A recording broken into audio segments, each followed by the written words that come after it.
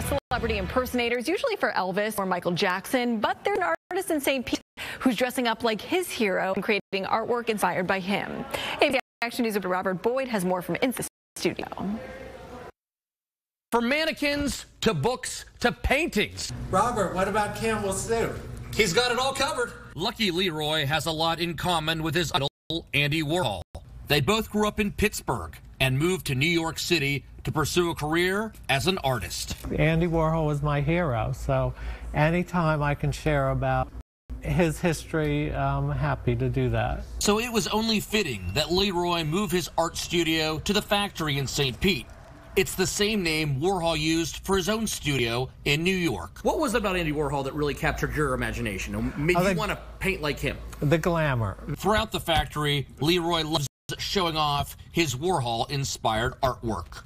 I watch um, news stories, current events, and I try to find something that uh, Andy Warhol might have painted about. This one I made, it's uh, Andy Warhol American Express American flag. LeRoy is responsible for the newest FloridaRAMA to be added to Fairgrounds St. Pete. It sort of flashes at you as if it's the paparazzi.